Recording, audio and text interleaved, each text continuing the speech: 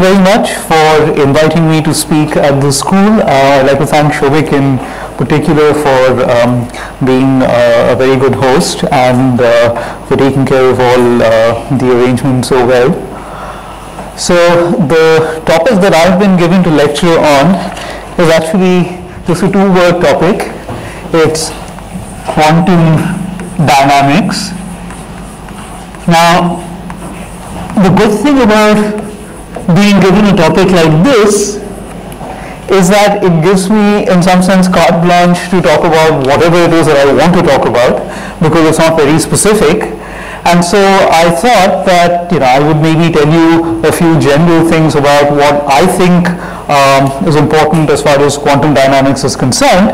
Um, and so then I prepared a list of subtopics to lecture on.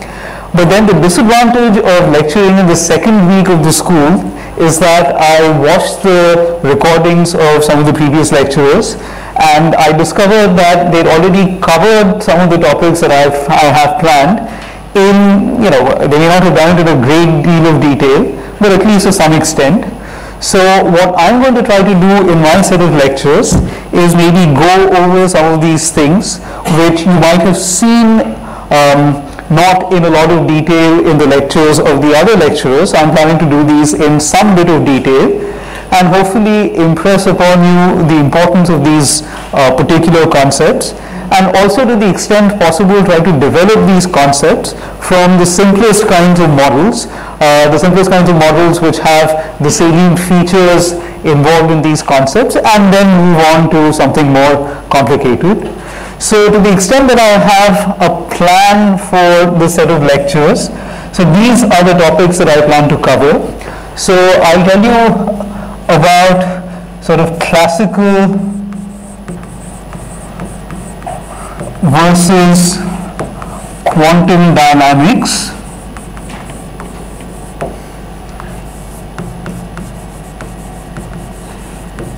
The differences and the similarities between classical and quantum dynamics in the specific context of certain kinds of models which are important in studies of this sort, namely spin models. Um, and in and, and you know while doing that, I'll tell you a little bit about certain aspects of the spread of classical information and quantum information what these things mean and what it means for them to spread.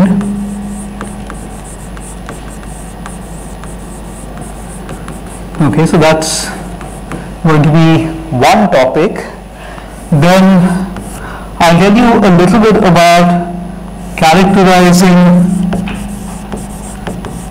chaos in quantum systems. Now, you've already had a couple of lectures on chaos in quantum systems uh, given by Lea Santos. And so I certainly don't plan to go over everything that she covered. Um, what I do intend to focus on though is a particular aspect of quantum chaos which also links it to classical chaos which is the extraction of Lyapunov exponents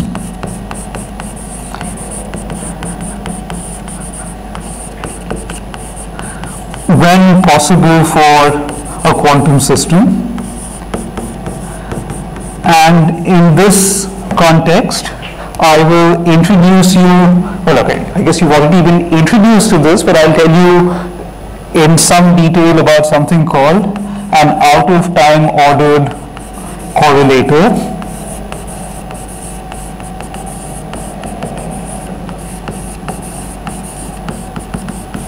or OTOC for short.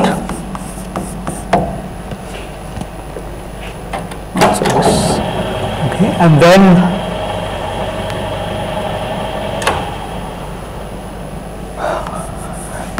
I'll also tell you about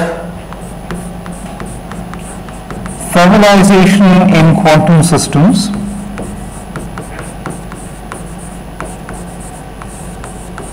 Again, something which you have been exposed to to some extent in Lea's lectures. but I will specifically focus on the approach to equilibrium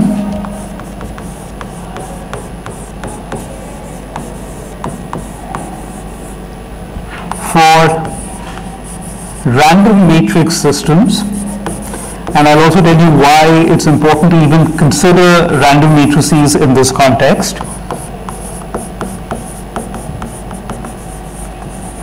And from there, move on to how these concepts can actually be applied more generically to quantum systems which thermalize and which are described by something called the eigenstate thermalization hypothesis, which again you have heard about from Lea and you have also heard about from Orno, but we will, you know, go over this again in my lectures and some specific aspects of um, the eigenstate thermalization hypothesis. So the approach to equilibrium for random matrix systems and extension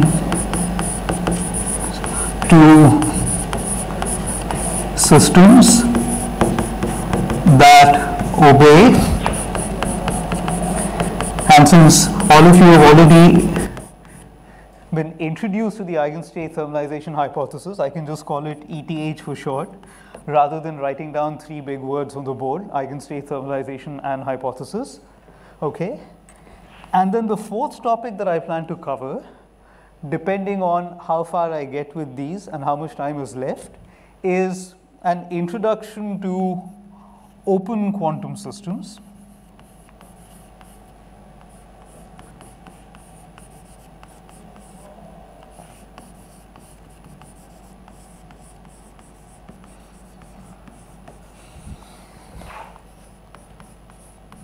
And in particular, to the quantum master equation or something that's also called the Lindblad equation. So that's the plan. And I have six lectures over which to cover these topics. Um, I had originally prepared um, material for five lectures, and then I was told that I was supposed to deliver six, so, but I didn't change my original plan. It's still really material for five lectures, which I'm going to try to stretch over six lectures now. So I'll go a little slower than planned, which I think is fine uh, because you know this is a school, and so please feel free to interrupt me at any point and ask me questions. My only request is that you speak loudly. I'm sort of losing my hearing a little bit in my old age, so just speak up if you have a question uh, and you can interrupt me at any point. Okay. So with this, let me actually now start talking some physics. So as I said, I'm going to be lecturing on quantum dynamics. And so I thought it would only be fitting to start talking about a system which is extremely unquantum and extremely undynamic. Okay? And so I'll tell you what I mean by the system being unquantum and undynamic, and then we will make the system dynamic and we'll also make it quantum. So the system in question is again something that you're very familiar with. So I'm, at least I'm hoping that you're all familiar with. And this is just the classical Ising model. And to keep the discussion simple,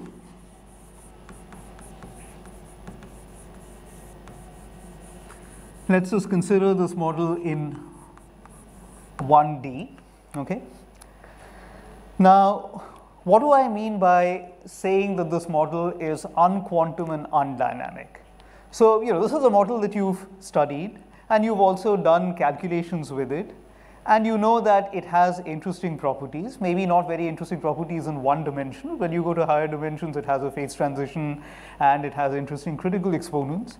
So what do I mean by this model being undynamic? So what I mean is the following. So imagine that you had no other degrees of freedom, that this Hamiltonian described an isolated system. So an isolated system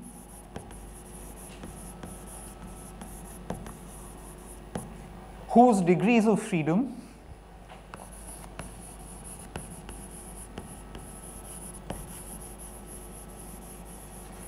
were the SIZs. Okay, so at every site you have this SIZ variable and SIZ can take one of two values, so either plus 1 or minus 1 and that's all you have.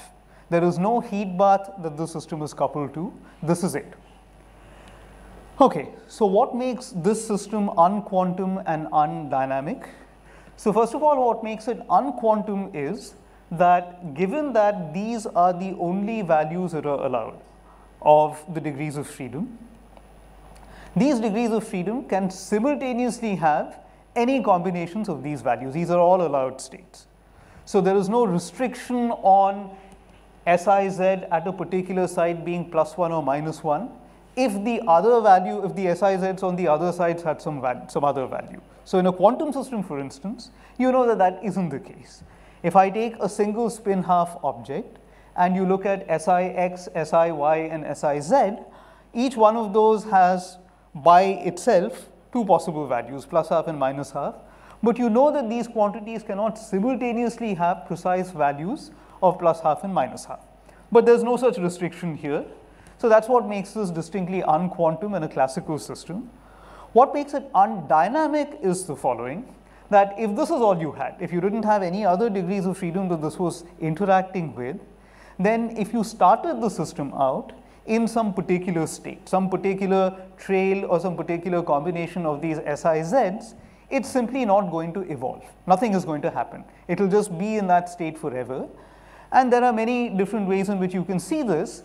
But the simplest way in which you can see it is that if you all know from your classical mechanics course that if you have a Hamiltonian, any Hamiltonian, which describes an isolated system, and you want to know how some particular quantity evolves as a function of time under the dynamics specified by this Hamiltonian, so let's call that quantity O, then you know that dO dt is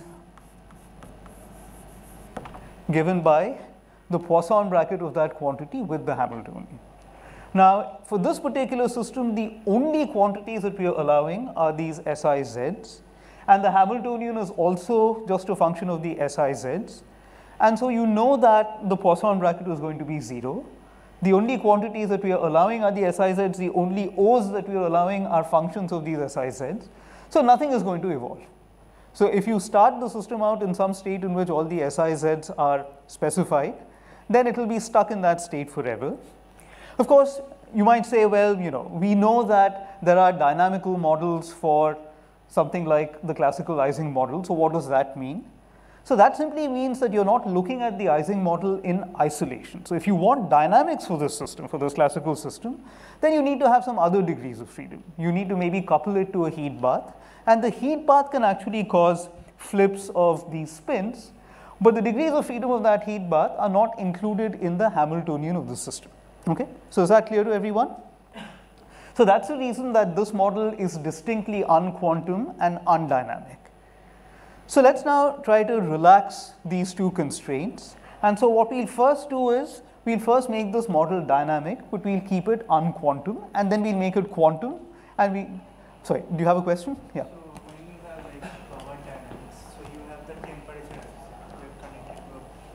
Do I have the temperature here? No, I'm saying like if you want to study the global dynamics, then you have to have a safe temperature. Right. right. Yeah, so the, so the moment you have a temperature in the system, right, an externally imposed temperature, that means that there's a bath that the system is coupled to, and it's the bath degrees of freedom which are providing the temperature and also causing this system to thermalize at that temperature by interacting with the degrees of freedom of the system.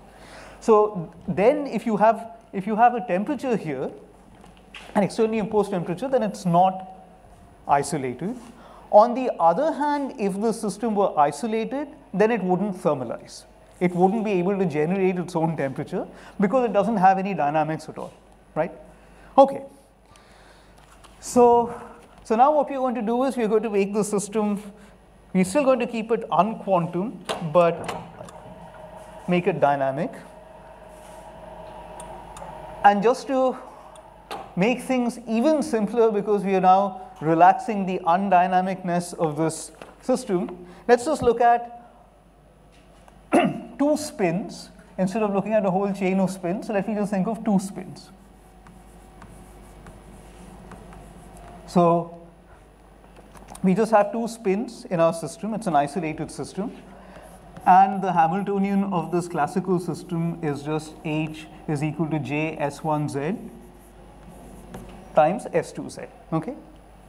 But in order to give this, to actually make this a dynamical model now, what we are going to say is that the spins in question are no longer just things which can take on the values plus 1 and minus 1, that there's not just a z component. So what we have in mind now are 3D spins, two three-dimensional spins, S1 and S2, right? So S1 has components S1x, S1y, and S1z. S2 has components S2x, S2y, and S2z. And let's just, again for the sake of simplicity, assume that these spins, both of them, have a length which is equal to 1. I mean, this is not necessary at all, but this keeps the discussion simple. And so the only constraint that we have is that s1x squared plus s2x squared plus s, sorry, s1x squared plus s1y squared plus s1z squared is equal to 1. That the values of S1, S, S1x, S1y, and S1z have to obey this constraint. But other than that, they can simultaneously take on any values. So there's nothing quantum about the system. This is just completely classical. But this is a strange kind of classical system in which even though we have these other degrees of freedom, which are the components of the spin in the x and y directions, you're saying that the Hamiltonian is just this. And you see why we are doing this for a reason when we extend this to the quantum system. Okay. So given this now, this model is no longer undynamic, it's no longer static. If you start the system out in some arbitrary initial state, it will evolve and you can actually write down the equations of motion and the equations of motion are obtained pretty simply. So can anyone guess what the equation of motion, the equations of motion will be for this particularly simple system? What will happen to the x, y, and z components of these spins, how they'll evolve. Okay, so we can do this explicitly, again using that expression. So ds i dt, and i could be 1 or 2, is going to be given by this expression. And we know what the Poisson bracket relations are between the different components of spin because spin is like angular momentum. And so the Poisson bracket relations between the different components of spin are like the Poisson bracket relations between different components of angular momentum, which you could either think of deriving if you don't know from just thinking of the Poisson bracket relations between position and momentum, or if you just remember what the spin commutation relations are in quantum mechanics, these are just the classical versions of those. And so the relevant Poisson bracket relations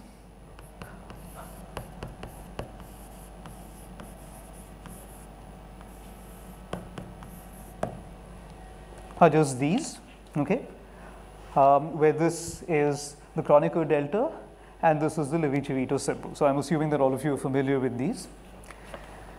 And so if you look at spin components um, or for different spins, then their Poisson bracket is zero. Um, because I'm someone who works mainly on quantum systems, I might use the word commutator interchangeably with Poisson bracket. And you know, you can figure out what I mean depending on whether I'm thinking of a, I'm talking about a classical system or a quantum system. Okay. So that's all we need in order to get the equations of motion for these objects. And so the equations of motion are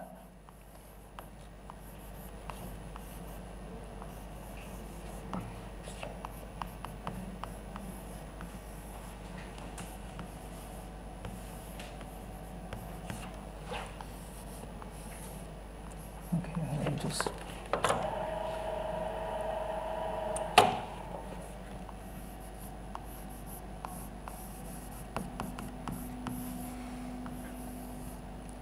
sorry, I want S1y, okay, S1y, S1x, S2z, and D.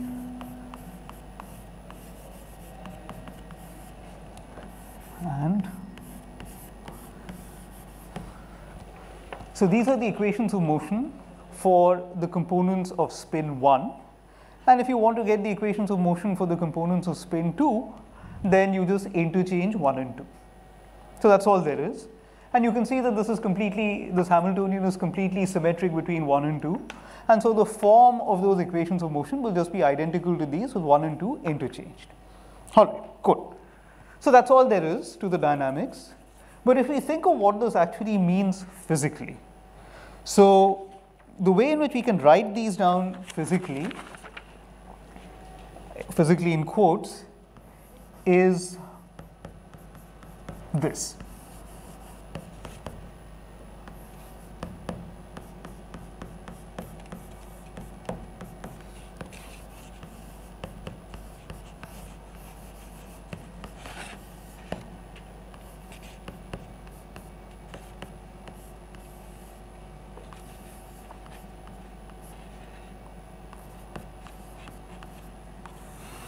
Okay. So what these equations are telling us is that the dynamics is such that the z component of neither spin evolves with time. So whatever initial state you start the system out in, right, whatever is the z component, that continues to be the z component for both spins. As far as the x and y components are concerned, you can actually combine these two equations into a single equation for the parallel component of the spin the parallel component being the component that's normal to the z component. And you can see that that has this particular form of evolution, which is what's called Larmor precession. So is everyone familiar with Larmor precession?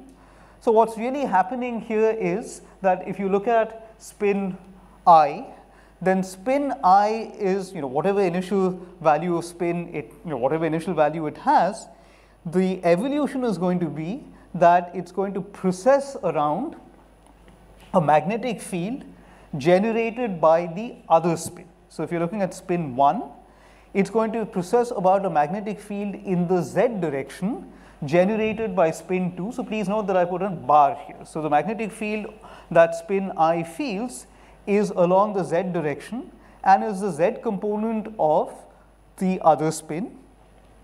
And so all that happens is that each spin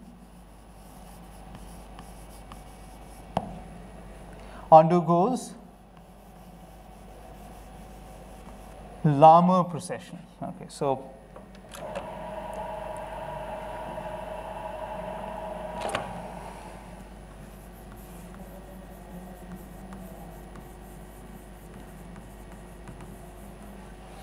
So we can also solve these equations of motion explicitly for the spins given some initial condition. And so what you see is that if you solve these equations of motion, so Six of t is going to be Six0 cosine of hi times t minus Siy0 sine of HIT. So these are not hyperbolic cosines and sines by the way. H is hi is the magnetic field which the ith spin is feeling because of the other spin.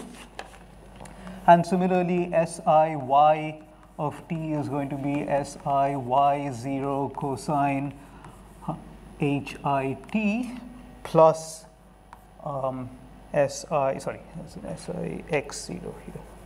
Uh, no, I think I've got this wrong. One second. SIY0, sorry, and then plus si x 0 sine HIT and SIZT is equal to SIZ0. So that's telling you that the Z component doesn't evolve and the other two compo components evolve in this way.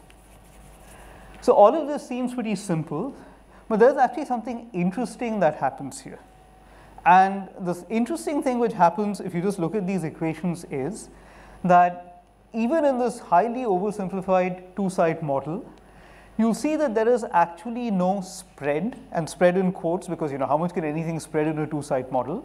but there is no spread of classical information. So let me explain what I mean by that. So no spread of classical information.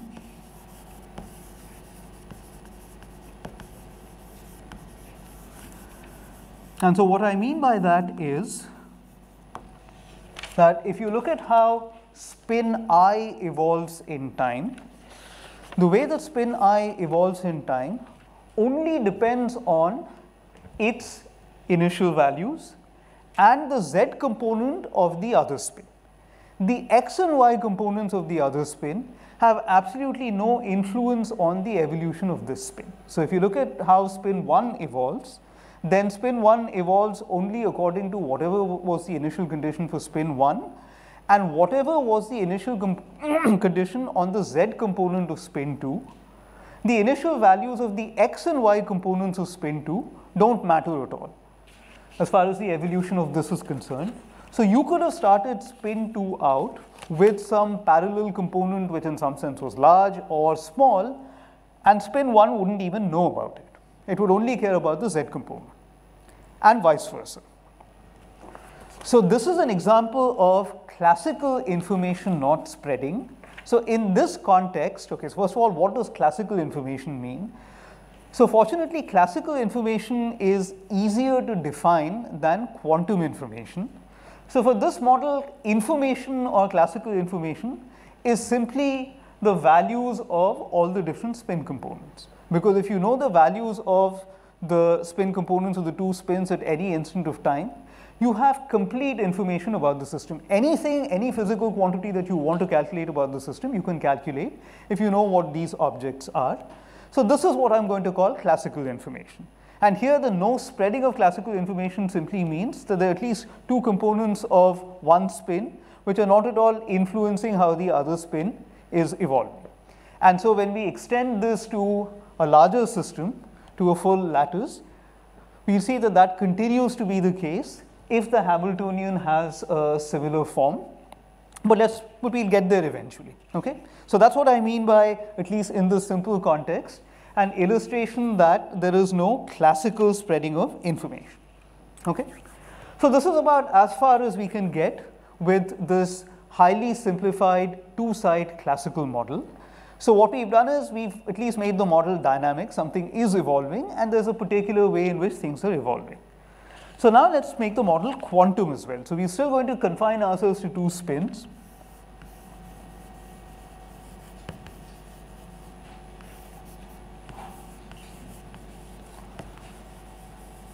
Okay.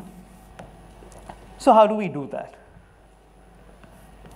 So what we're going to do is we're still going to write down the same Hamiltonian, but now we're going to keep in mind that the Hamiltonian is a quantum Hamiltonian. So, it's actually an operator which acts in a Hilbert space. And so, that's the reason I've put a hat on top of H, it's an operator. And even the SZs that I have are now operators. And what is the Hilbert space that these operators are acting in? So, I'm going to choose a Hilbert space where each of these is a spin half object. So, spin 1, okay, let me not write spin 1 to, so that would be confusing. So, let me say 1 and 2 are spin half degrees of freedom.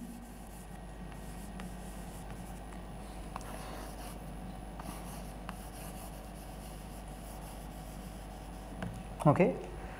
So, by the way, I'm assuming that most of you are familiar with the fact that if you look at quantum mechanical spins, then in some sense, spin halves are about as quantum mechanical as spins can be.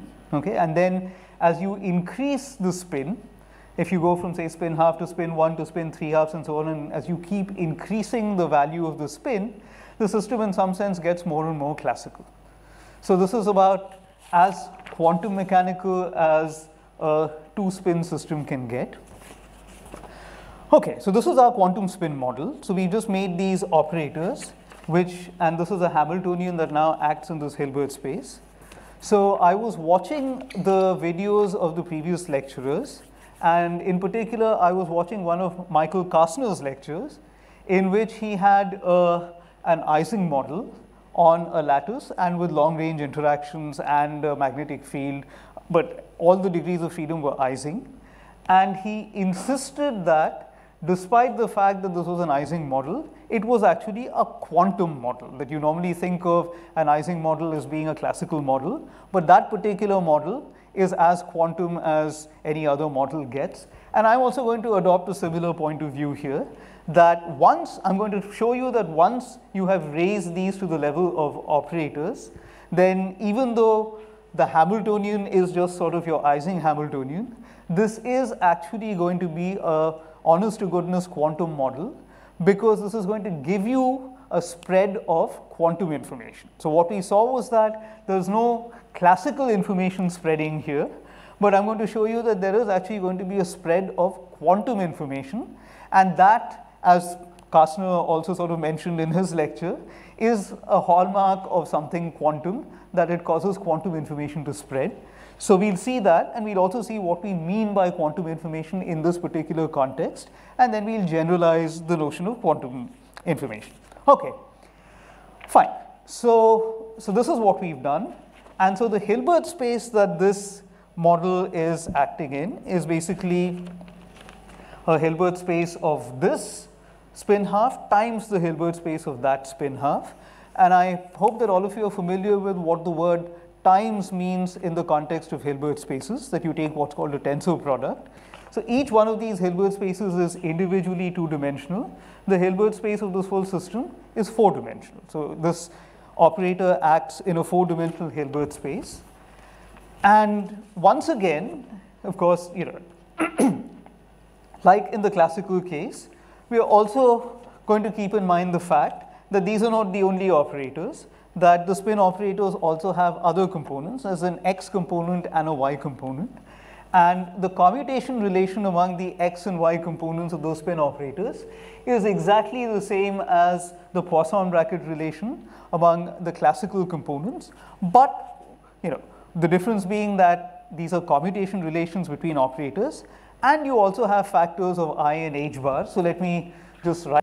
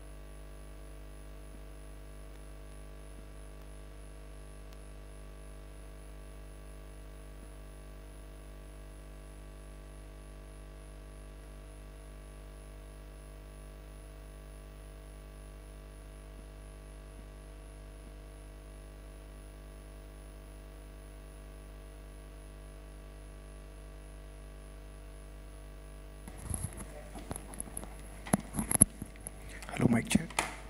Hello, mic check.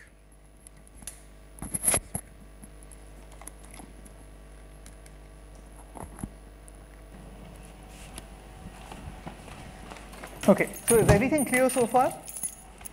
Good.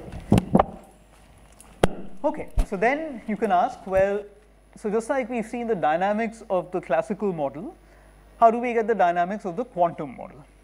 And so that is where things start getting interesting because there are two different ways in which you can think of the dynamics, which of course are completely equivalent, give you the same answers, but shed light on sort of two different aspects of quantum evolution, one of which does not have a classical analog. So you know that if you have an isolated quantum system, which is described by a Hamiltonian, then the dynamics of that system is given by the Schrodinger equation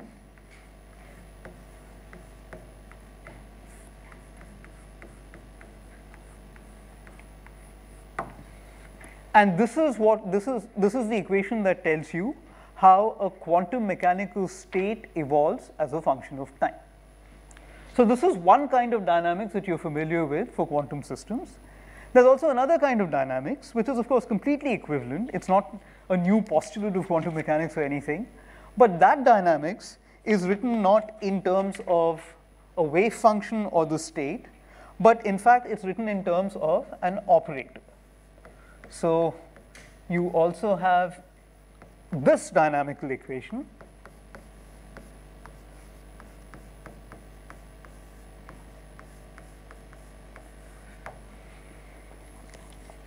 okay so you've got these two things and i'm assuming that all of you in a quantum mechanics course have actually seen a derivation of the second equation now here's where things get interesting so if you compare this equation to something that I'd written down earlier, this one.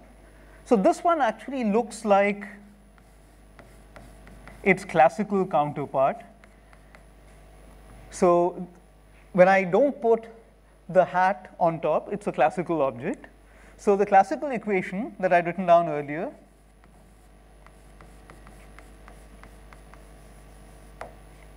was this. And this just looks like the quantum counterpart of this equation. You're just replacing the Poisson bracket with a commutator, and you're replacing these classical observables, these classical variables, by operators. But it turns out that while that is indeed true, there is a big difference because classically this equation gives you all the information that you need about the evolution of the classical state. Because if you just think about this spin system again, we said that all the information about the spin system is completely contained in the values of the components of the spin. And classically, this equation is telling you how those values are evolving. So the complete dynamical equation of the classical system, the complete dynamical information about the classical system is contained in this equation. But it turns out that this quantum mechanical equation is a little different. The equivalent of a quantum mechanical state is actually not a quantum mechanical operator, but this object here, which is a state ket. So all the information about the quantum mechanical state is actually contained here and not here, even though this equation is the one which actually looks like the corresponding classical equation. This is the one which has a classical counterpart. This actually does not contain all the information about the quantum mechanical state as we will see. So this is where you have a divergence between classical dynamics and quantum dynamics and it essentially comes from what you mean by a quantum mechanical state versus what you mean by a classical state.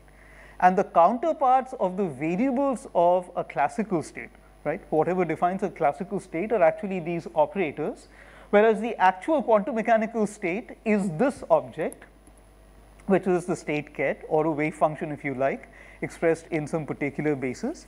And we see that th this difference is the thing which in some sense determines the notion of quantum information and also how quantum information spreads in this simple model even though classical information does not. Like in some sense, there's going to be, even when you write down the quantum version of this, there's going to be so no spread of this, but there is going to be a spread of that, and we'll see how that comes about.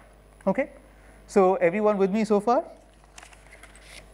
So we also know how you can, you know, just like you can write down those, you know, you can, you can get these equations from those differential equations. You also presumably in a quantum mechanics course have seen how you can explicitly write down the time evolution of the state and the operator in terms of their initial values in the Hamiltonian, meaning how you can integrate these equations. And um, so unlike, for instance, the kinds of systems that Arnab has been, oh, have to go down, is going to be dealing with, in my set of lectures for the most part, H is going to be time independent. And so if H is time independent, then it turns out that there's actually a reasonably simple way in which these evolve. So psi of t is equal to minus i h bar t, okay, actually I need to stop this. Ah.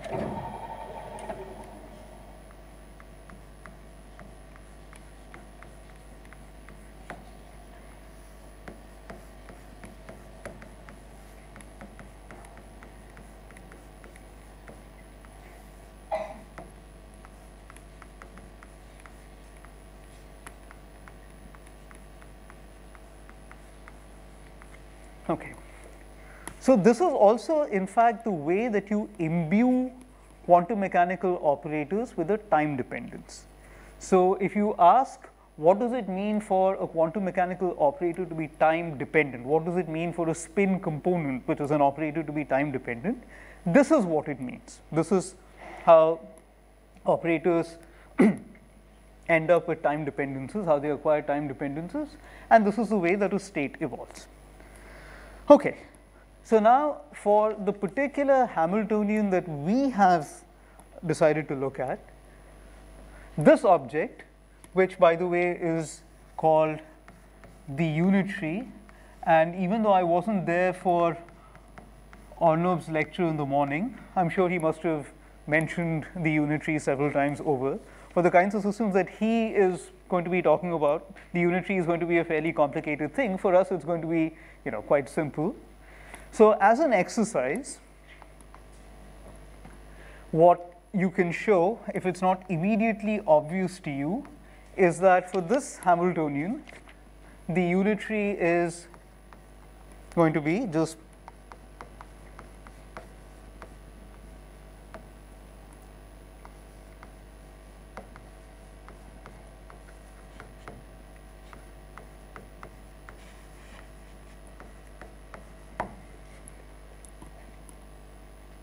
Okay.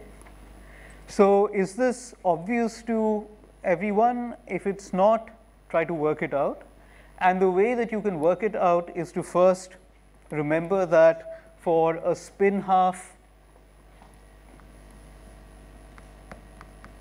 operator, this the, you know, if you look at a spin half operator, the spin oper operator is one half times h bar times the corresponding Pauli matrix and then you can just use some of the properties of Pauli matrices, namely that they of course you know obey that kind of commutation relation but with a factor of 2 that for spin half because they're Pauli matrices they also anti-commute and they square to 1. So you can use all of these properties and show that the unitary is just equal to that. So if, if, if it's something which you haven't done before, I'd urge you to do it as an exercise, okay? And omega here is j h bar divided by 4. Okay, fine.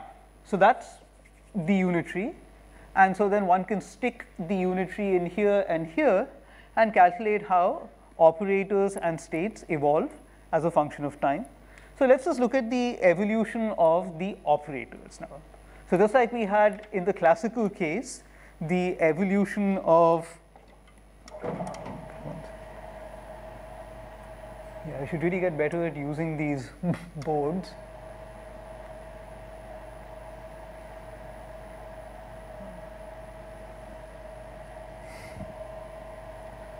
Right, so so just like in the classical case, we wrote down the evolution equations for the different components of the classical spins.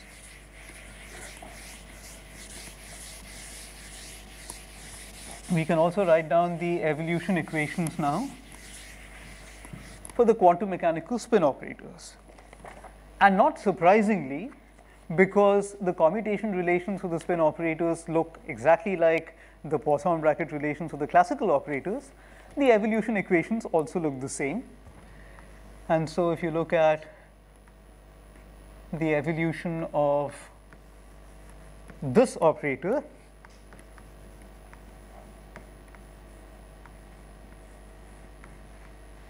okay, but now remember, we have to remember that this is also an operator and that's going to be important.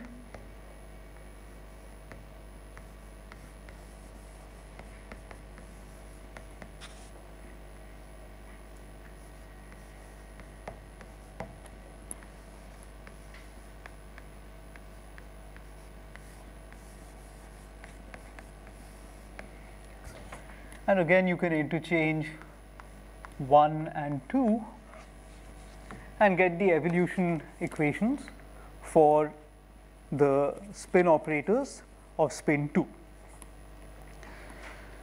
Okay. So, these look exact oh and I should also say that H i here as before is equal to j times S i bar z hat. So, once again if you did not worry about the fact that these were operators, you would get exactly the same equation. These are again the equations of Larmor precession. And so, you would say that even these quantum mechanical spins are Larmor precessing. So, if you take spin 1, quantum mechanical spin 1, it is Larmor precessing about the magnetic field generated by spin 2 and vice versa, right, except that these are now operators. And so, you can ask well even if you write down operator equations like this, how do you actually pull out from this something that is a number, something that you can actually measure perhaps, right. From operator equations, how do you actually go to equations like what we had in the classical case, where of course, the objects in question were spin components, which were real objects. So, what are the real objects here and how do you pull those out of these operator equations? And so, the real objects as you know from quantum mechanics are if you want to you know produce objects whose values are numbers from operators, then you have to take the expectation values of the operators in some state. And so, here the idea is if you want to see how an initial quantum mechanical state evolves and you want to use these operator equations to do that, what you are really asking is the following question. If you were given the expectation values of the operators in that initial state, what would be the expectation values of the operators in whatever state you get to after a time t are these equations describing that. Okay. And so, in order to see that, in order to see that they do,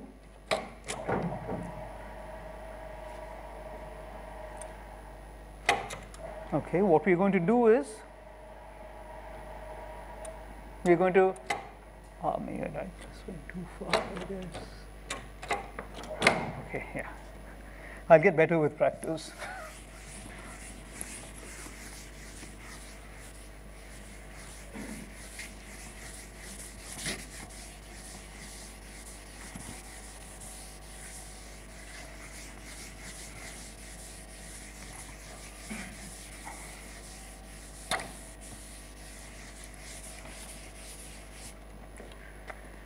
Okay, so so what we want is so let's just go back to looking at general operators. So if I have an operator O hat, right, and if I want to know what the expectation value of O hat is in the state which the system has evolved to after time t, then it's this object and this object is also the same as the expectation value of O hat of t in the initial state, right.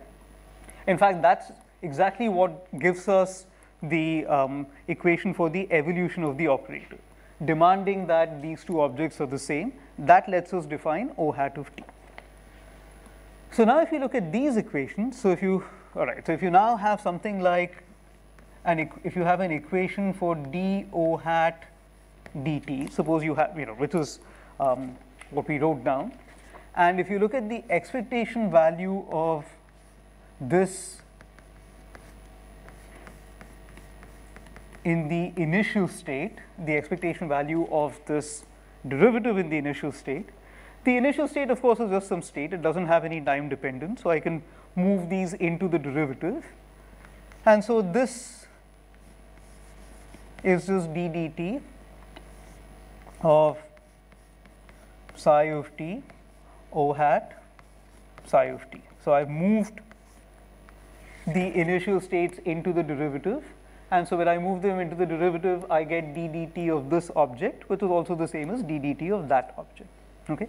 So, if I want to get something meaningful out of those equations if I want to actually know how those equations describe the evolution of the expectation values as the system evolves, then I'm going to take the expectation values of those equations in the initial state. Okay, so is that clear? So let's say we've done that, and after we've done that, so take the expectation values of those equations in the initial state. So now there are no operators left anymore because we're taking expectation values. And so this is what we'll get. Okay. So let me just write this down and then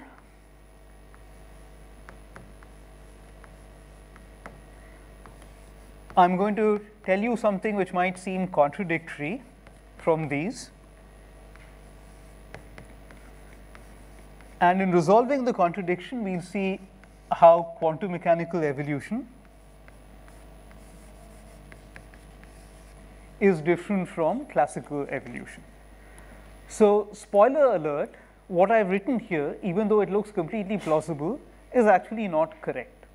And therein sort of lies the difference, and we'll see why it's not correct and what the resolution is. But all that I've written here now is just you know taking I've taken those equations and taken the inner product or taken the expectation values of those operators in the initial state and I end up with this and these equations look exactly like the equations that I had written down earlier for the classical system. There are no operators anywhere you know everything is now some expectation value and so the question is is this correct or is this not. So let's see whether this is correct. So let's just go back to the classical system and let's look at the evolution of the classical system for a very specific initial state. So, forget about these equations, uh, well I mean these are also the equations for the evolution of the classical system. So, forget about the quantum mechanical system for the time being. Let us look at the classical system and let us look at a very specific initial state and ask how that very specific initial state evolves for the classical system.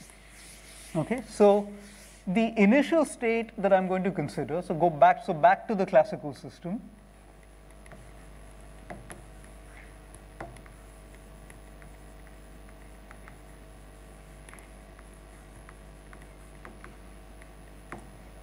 Okay. So let's take the following initial state. So the initial state that I'm going to consider is that S1 at time t equal to 0, S1x at time t equal to 0 is equal to S2x at time t equal to 0 is equal to 1 and all the other components are 0 at time t equal to 0. So, this is the classical system.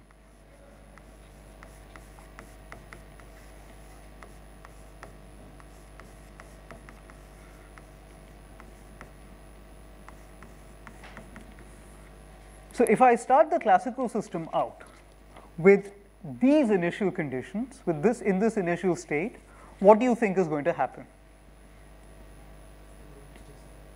Yeah, sorry, louder.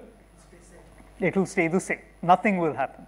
It will simply not evolve from this state because in order for the classical system to evolve, those magnetic fields have to be non-zero and because I've set the z components of the magnetic field initially to be 0 and you know that those z components don't change, the z components will always be 0 and the classical system will simply not evolve from a state like this. Okay, so classical system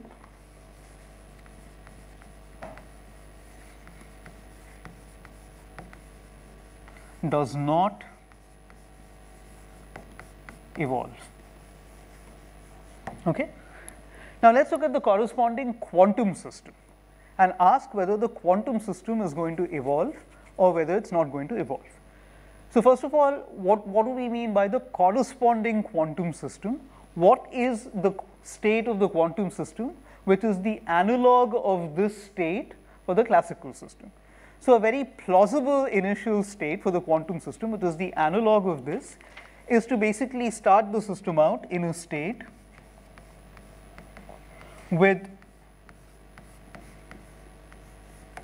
both spins in quotes pointing in the x direction. So, what I mean by pointing in the x direction for the quantum system is that these two states are eigenstates of the x operator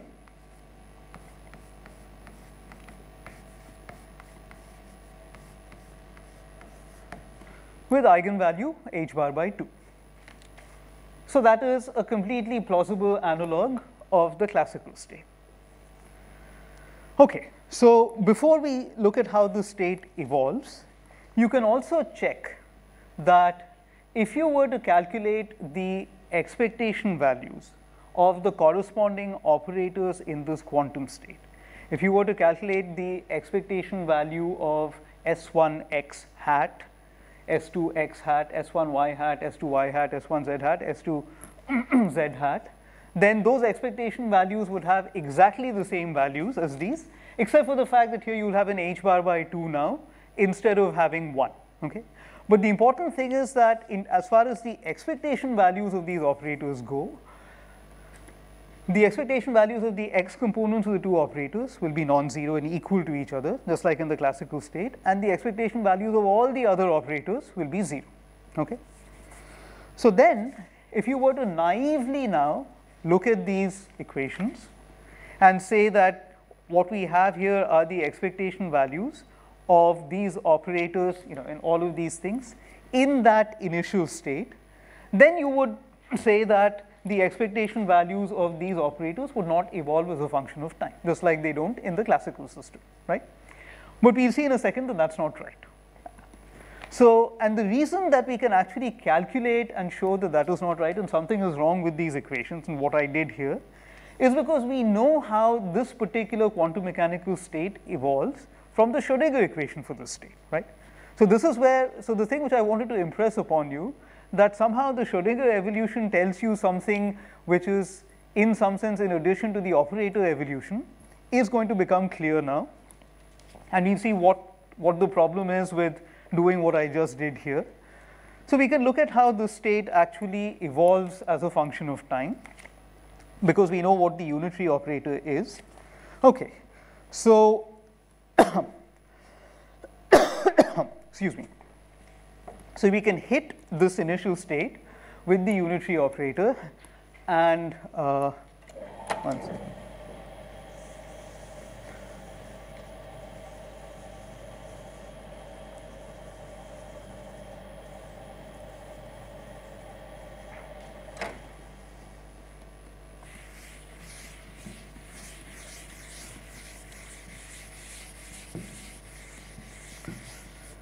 Okay. So, if you hit that initial state with the unitary operator, what you will find is that the state that you will get after a time t is cosine omega t times the initial state minus i sine omega t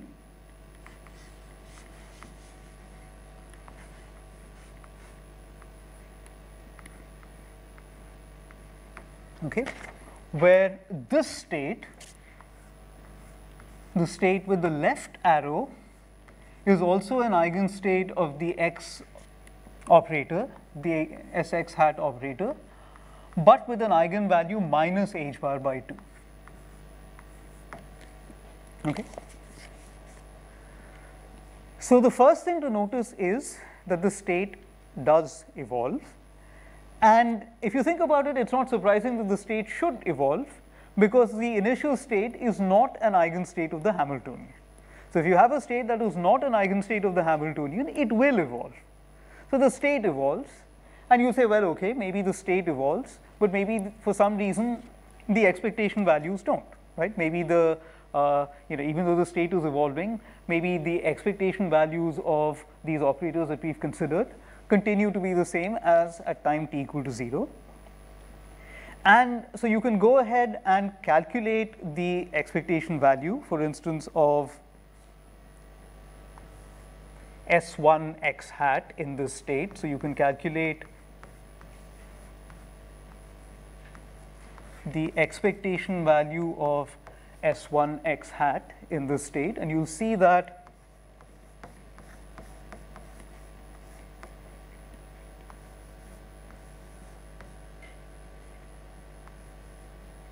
this is the same as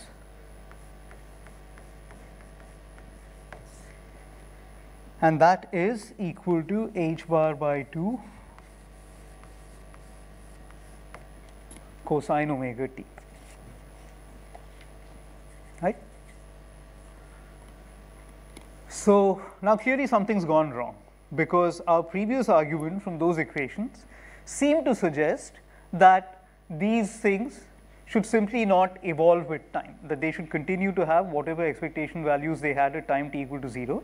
But clearly the expectation value is changing as a function of time. So something is wrong with those equations. So what is it that's gone wrong with those equations? And what's gone wrong with these equations is that what I've written here on the right hand side is actually not correct. Because in making this false analogy with the classical system, what I told you, you know, what it seems like from these equations is that each of these is the expectation value of the operator at in the state psi 0 or in other words what I have is I have if you look at this right hand side the product of the expectation value of siy of t in the initial state times the expectation value of Hi of t in the initial state. But that is not true. What is actually true is that I have the expectation value uh, of the product of these two operators in that initial state, right. So, this object and similarly here. So, this object, oh, sorry.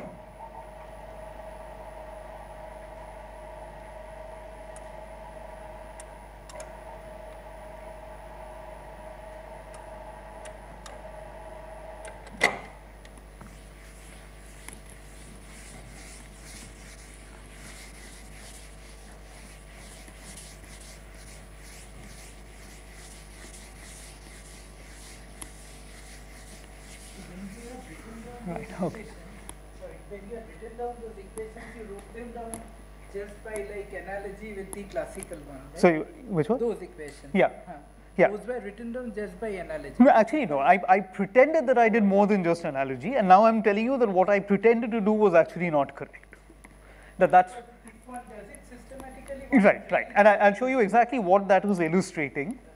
So what I'm saying is that when I write down something like this in those equations, Si x hi as numbers, I pretended that this was equal to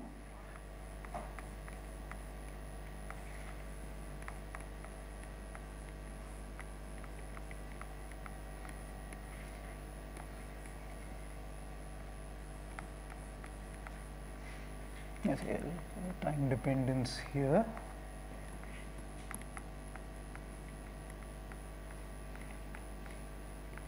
Which of course in turn would have been equal to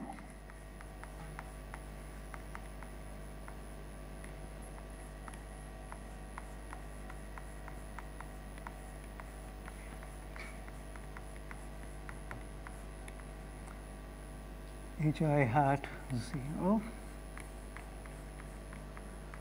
so that was what I pretended I had done.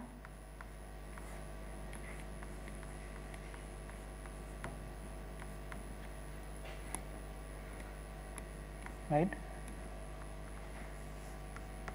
Which, you know, and, and so, so that's, so I pretended that these two were equal.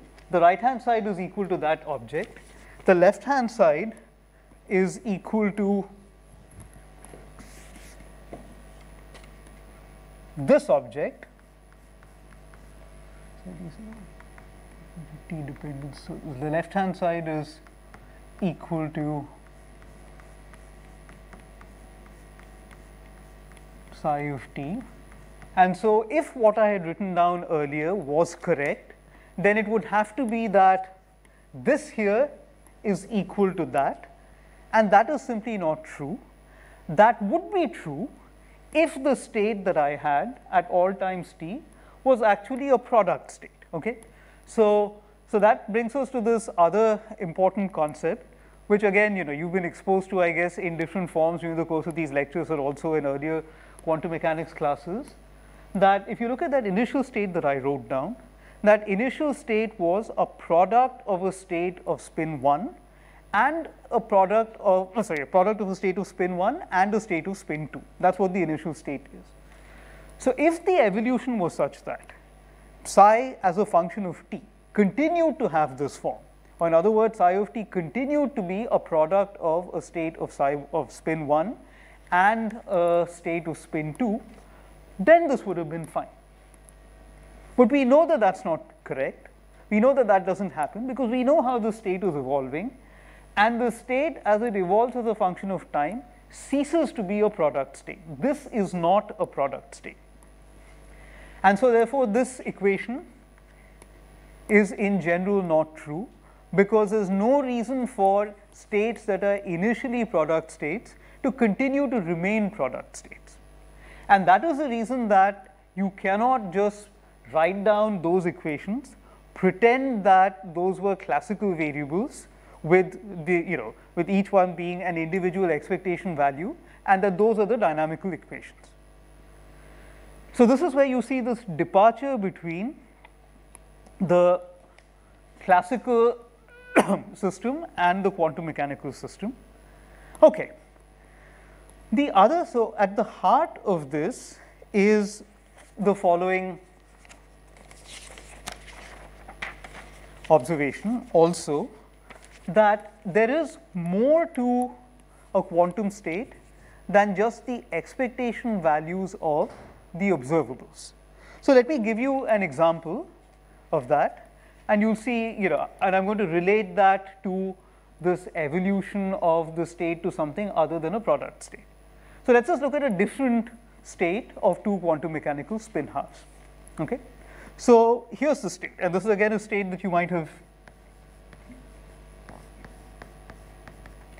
seen before in at least in certain limits. So,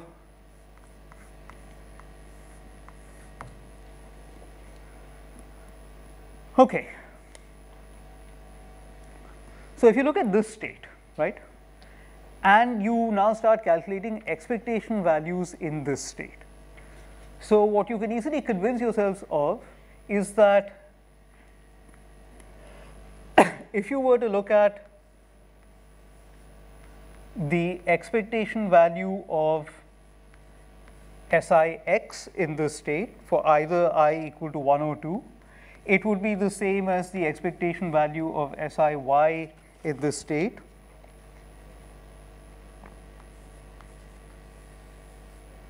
And these would be 0. On the other hand, if you look at the expectation value of uh, sorry and if you also look at the expectation value of Si z in this state that would also be equal to 0. Further if you looked at the expectation value of Si S1 z hat S2 z hat in this state that expectation value would be equal to can anyone guess what that expectation value would be equal to? In that state?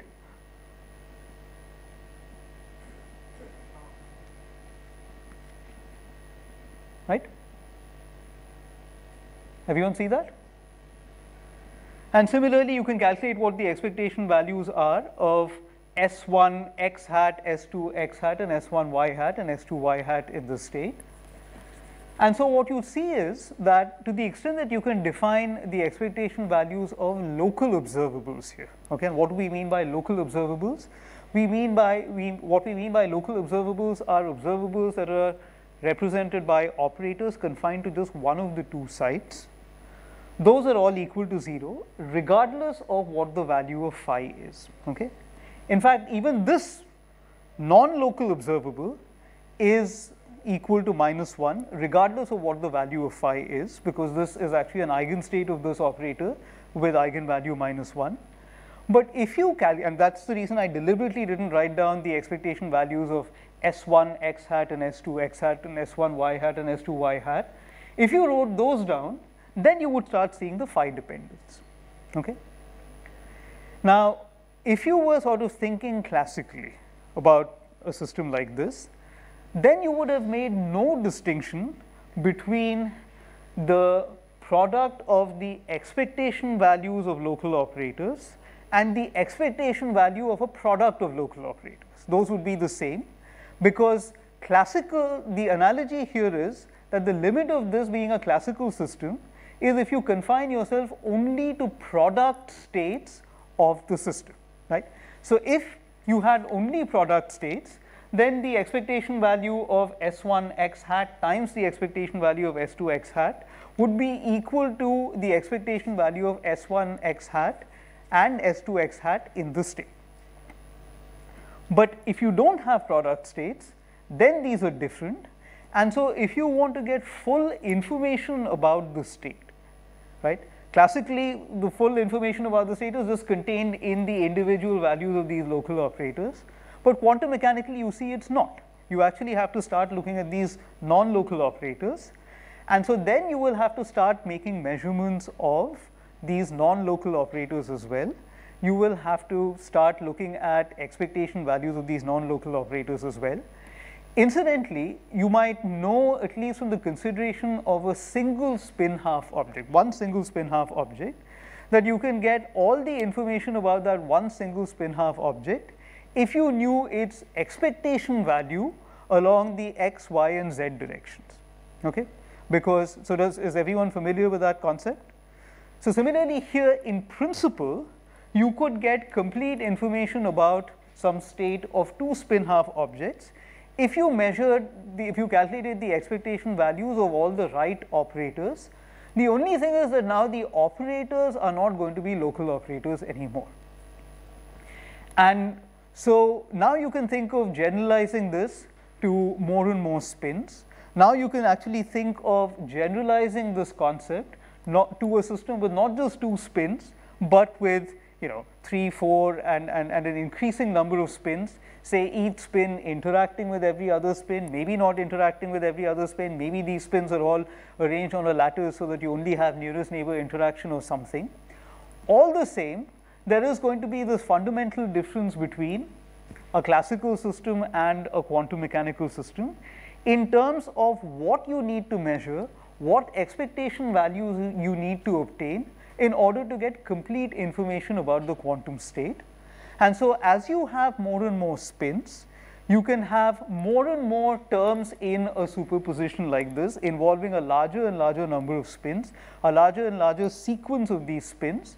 And so, if you want to get more information about this state, you will have to keep calculating the expectation values or measuring if you like the values of operators which get increasingly non-local, right.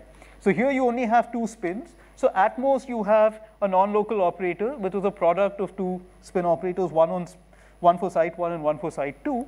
If I now had a third site then you would also need have to start worrying about operators like S1 say z hat, S2 z hat, S3 z hat or some other combination of the components of 1, 2 and 3, but operators which would involve products of all three spin operators and as you kept increasing the number of spins things would get even more non-local.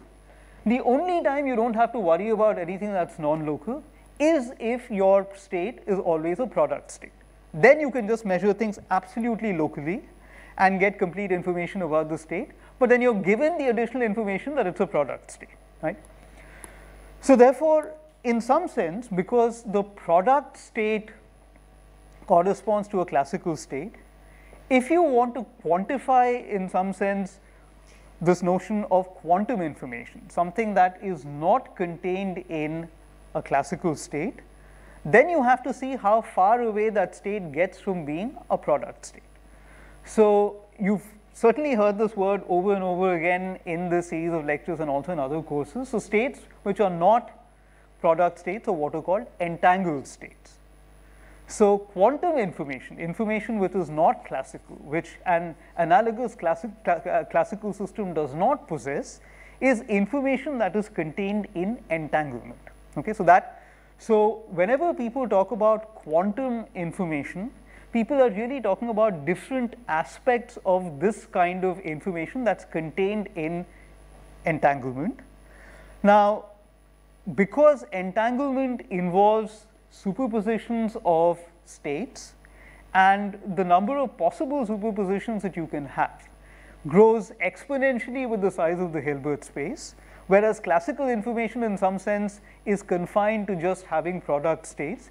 You can see that it's usually a very hard, it's, it's going, it's, you know, it's very, very hard to get all the information about a quantum state, to get all quantum information as your number of degrees of freedom increases, right? Because things are increasing exponentially with the number of degrees of freedom. So, if you want to extract information, quantum information, information that's actually contained in the entanglement, then you have to come up with some measures which don't really you know involve having to calculate an exponentially large number of numbers, somehow trying to quantify this quantum entanglement with a smaller number of numbers and indeed there are many different measures for doing that.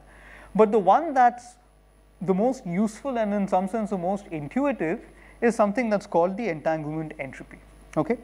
Um, but before I go there, let me also show you another thing about this quantum mechanical state and classical information contained in the quantum mechanical state, which was going to be completely analogous to what we saw with the classical system. Okay. So, is everyone with me so far? Okay. So, just to make that last point clear about classical information contained in the quantum mechanical state,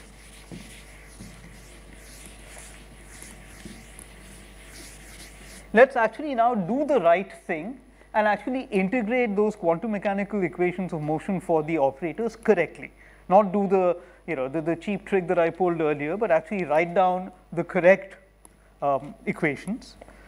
So, that takes a little bit more work than for instance calculating how that state evolves as a function of time because as I had written down earlier, O hat of t is e to the i hat i h hat t by h bar, O hat e to the minus i. Okay. And so, you actually have to hit your operators with the unitary twice, you know, the unitary on the side, u dagger on the other side and calculate this object. So, it, it's a little bit more algebra, but let me just write down the final result and I'd urge you to do the algebra. So, you will see that S i x hat of t is S i x hat 0 cosine squared omega t minus sine, okay, let me just write this, write this as cosine 2 omega t. So, cosine 2 omega t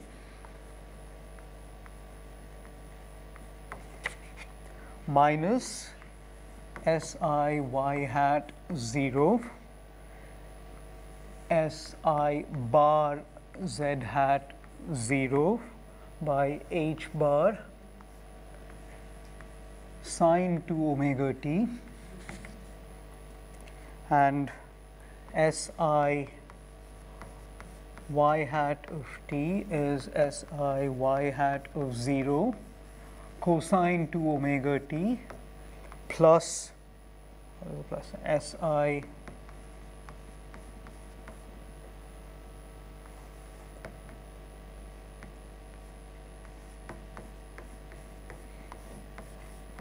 sine 2 omega t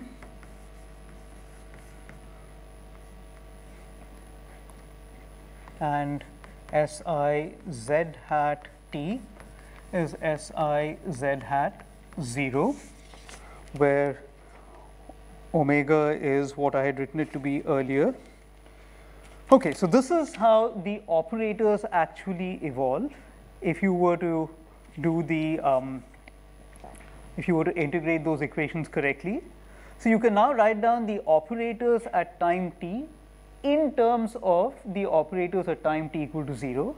So, if you wanted to calculate the expectation values of these operators at time t in the initial state, which is equivalent to calculating the expectation values of the operators without the time dependence in the state at time t, then all that you have to do is you have to calculate the corresponding expectation values of these t equal to 0 operators in the t equal to 0 state. Okay.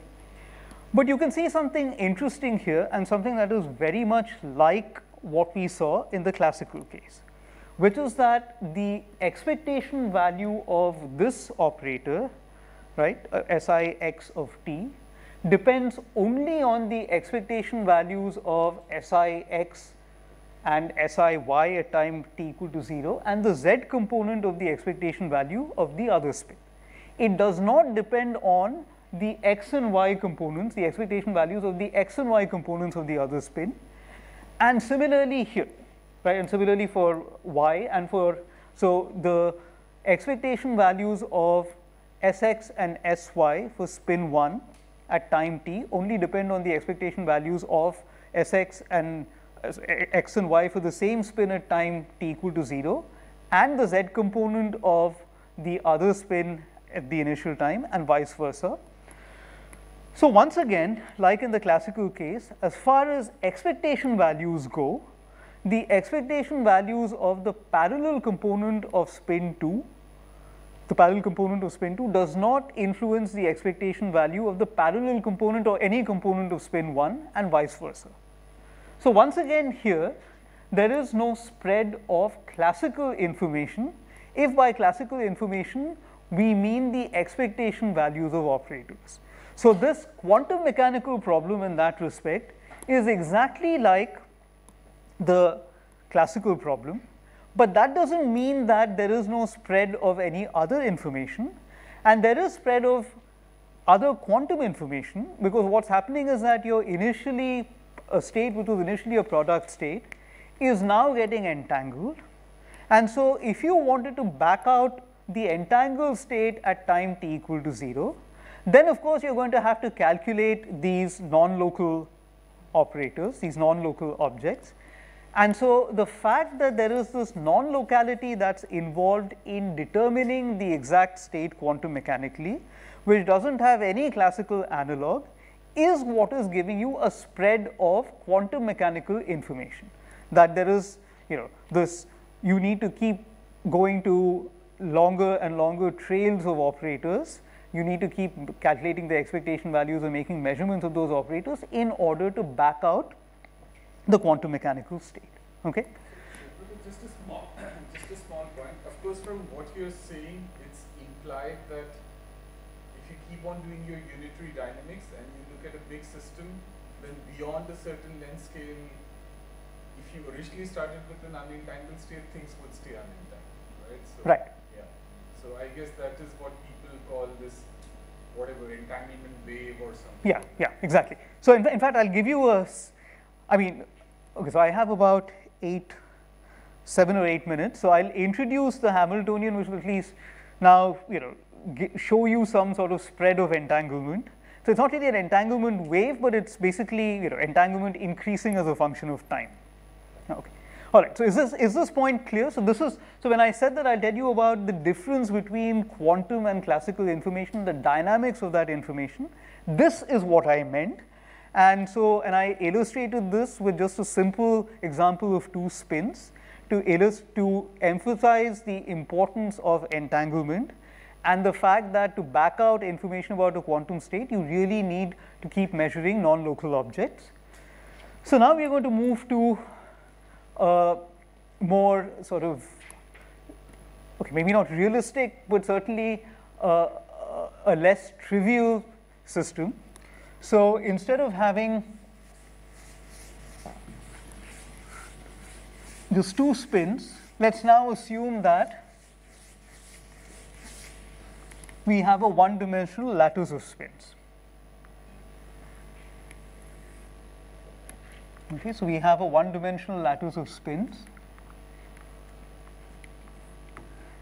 And what I am going to assume now is that the Hamiltonian for this system of one dimensional lattice of spins still only depends on, you know, regardless of whether I am thinking of this as a classical system or a quantum mechanical system, it still only depends on the z components of the spin. So, this is in some sense a generalization of that two spin model that I had written down earlier.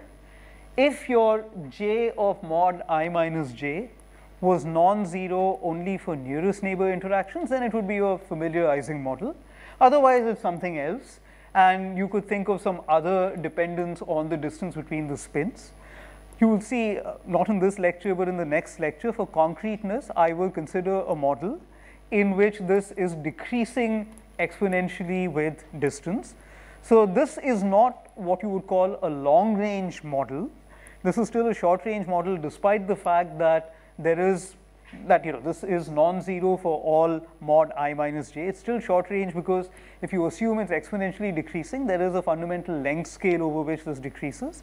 And so long range models typically as you, you know, would have learned from Michael Kastner's lectures are those for which there is no such length scale. So, so it's still not going to be long ranged, but for the time being let's also not you know worry about the exact dependence of this on i minus j. Okay, and so, so this was the classical model and the corresponding quantum mechanical model is simply going to have hats on top of all of these objects. Okay, so and so quantum mechanically you just make them wear hats, that's it. And they still spin half objects. So classically once again, what will happen is that if you, so all of this is now classical, if you write down the equations of motion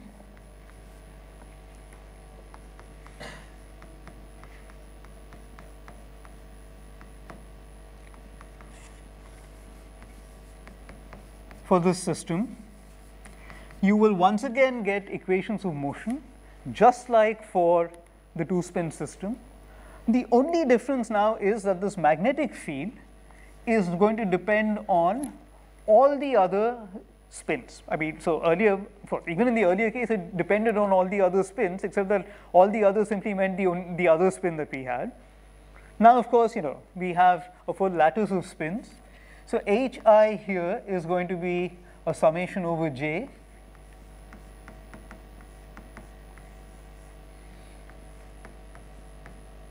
and this is going to be in the z hat direction. So that's all there is. So once again you can see that qualitatively the dynamics is very much the same, which is that the z components of the spins don't evolve, these are constants of motion. And as far as the parallel components of the spin are concerned, you know, so they're just going to rotate. And so this, so any spin i is just going to Larmor precess about the local magnetic field. And the local magnetic field is going to be given by the z components of all the other spins. So once again, even for this model, you can see that regardless of what the parallel components of the other spins are, regardless of what they're doing, they are not influencing the evolution of the spin i. So, this evolution of spin i is only determined by the z components of all the other spins which are constants of motion. Once you know what they are in the initial conditions that is what they are throughout and the initial components of the initial components of the parallel component of that spin itself. So, any information about the parallel components of the other spins is, um, is simply not affecting the spin i. So, conversely, you can think of a situation in which let us say you start the system out with all the other spins except a particular spin. So, let us say we choose this as the special spin.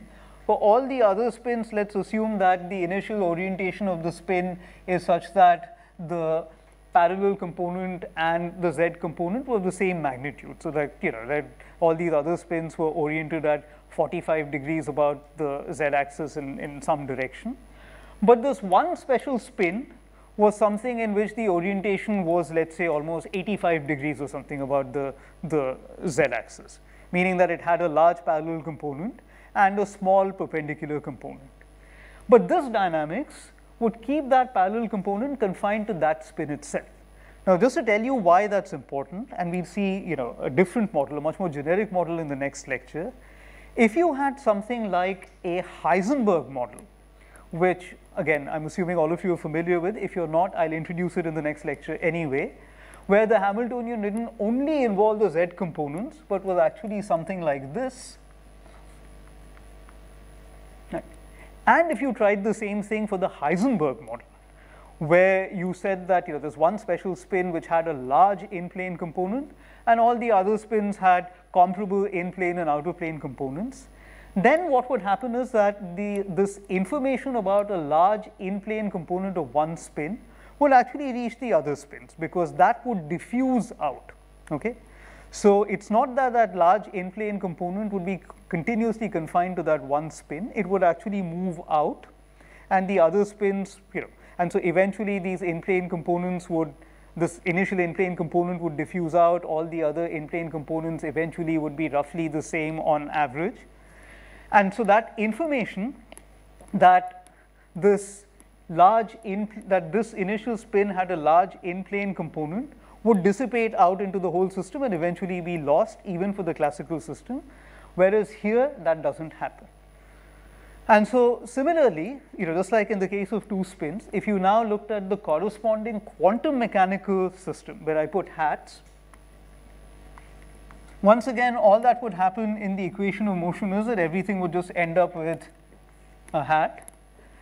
But qualitatively, the physics would remain the same, that this classical information in the quantum system that is contained in the expectation values of these operators would simply not propagate, would simply not move.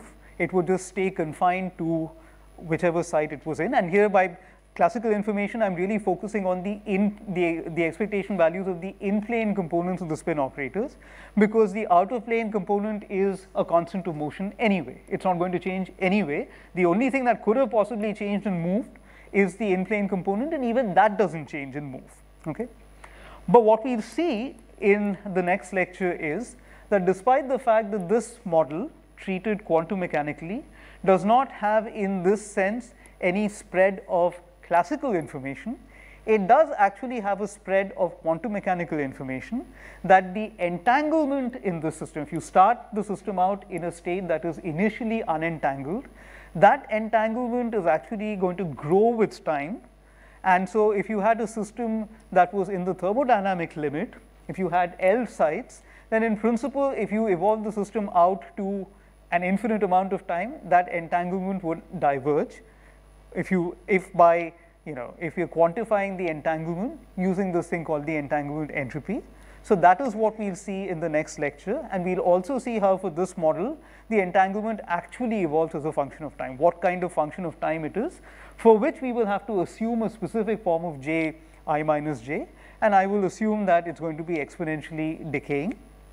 And so we look at that and then we look at in the next lecture what happens when you try to do the same things for a Heisenberg model, not for this kind of Ising type model, for a Heisenberg model where even classically there's a spread of information where you have diffusion, what happens to the corresponding quantum mechanical model and also what happens to the entanglement in such models. So that's going to be the theme of the next lecture. Okay, thank you. And if you have any questions, please feel free to ask. Yeah. So you commented that in principle this Jij is kind of a short range, it depends upon what kind of Jij you are considering, right? Uh, say you take some power by Okay, so so when you say does it depend upon, so the question is what is the it? So, all right, so so what I'll show you in the next lecture is that if you considered a Jij which was of the form